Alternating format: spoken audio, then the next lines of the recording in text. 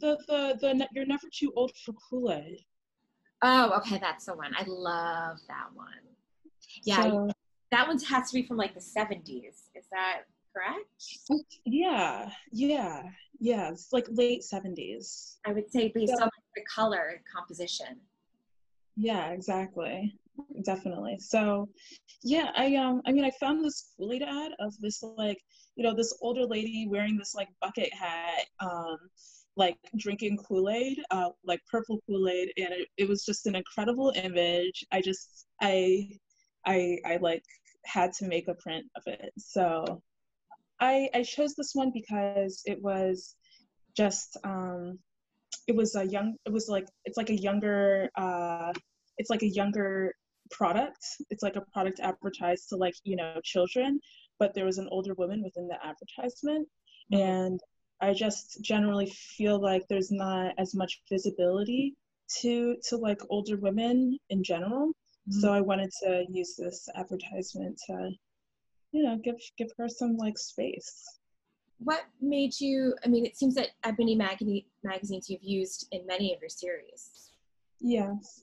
Is there um, I used I used them because uh, I really wanted to include include Black women within my work, and I also really I love the the large format of the magazine, and I would say that um, like fashion fashion and um, colors and styles uh, between like the 50s and 70s have this kind of timeless look to them um, like people recognize that the time frame, but it's I'd say that the, those looks um, have a lot of potential to flip between the past and present in a way that a lot of other um, styles don't necessarily do. Uh, so it's it's a way of like culturally connecting um, like the past and present.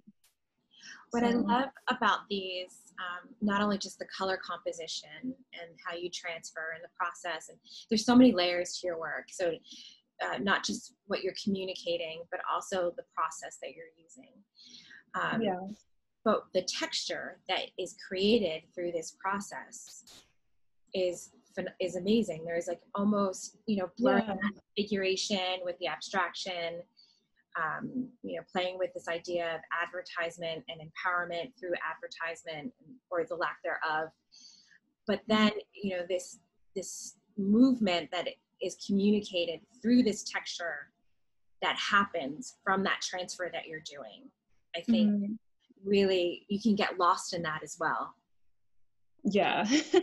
Seeing how yeah. that moves around and it adds to the story of your process in many ways.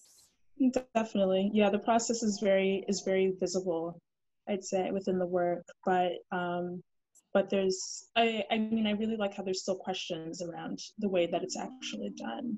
So it's yeah, what I enjoy I mean, whenever I look at art, and this is probably I'm sure a lot of people, I'm not the only crazy one, but I like to get as close as possible, as close as they allow me to get close, so that I yeah. can follow the brushstrokes, let's say, or yeah. I can follow that movement of that artist and say, okay, this is where they took this brushstroke and they moved it down, or and how that and get into that movement that that artist was doing when they were creating.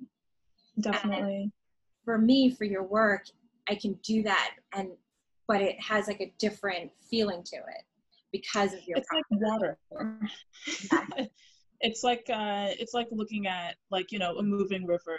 There's like there's a lot of movement in it but it's not necessarily uh it's very spontaneous. There's there's not really um i don't i don't have a lot of control over over the pattern that's created when making these which is really fun. Yeah. It's like taking a deep breath. It's like this is what's this is what's happening. This is what it looks like I'm going to have to accept this work for for what it is and appreciate the the results regardless. So it's. So what do you have lined up for? Well, I mean, if 2020 has anything happening, but at least or 2021, let's say. Uh, so I have. Uh, so I got accepted for a couple of residencies and they were going to be this summer, but of course they're going to be hopefully next summer. And um, I got I I got accepted for the Stone Leaf Retreat um, with uh, with Helen Toomer, which is very exciting. Great. And um, I know I'm really stoked about it. And then uh, the the Elizabeth Murray Foundation residency, and then the Wassaic project. Oh, I love I'll be up there for, for a month. Yeah, so that's what's on the list. Yeah. And then, um, are you going to be building towards this series, the Ebony series, or do you think you're going to be? Because you have when you look at your website, you have so many phenomenal like different mediums that you use and that you're constantly investigating.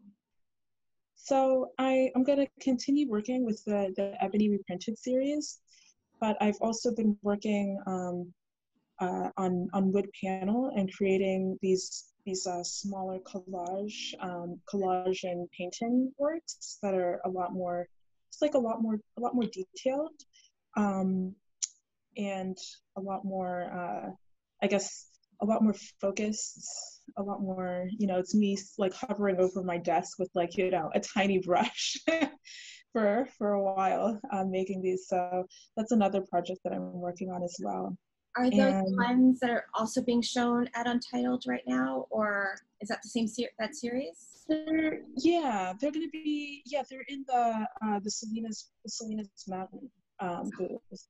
Oh, it's booth A six. It's A six. So, yes. Okay, that's great. Oh yeah, definitely. All right. Well, it was so good talking with you.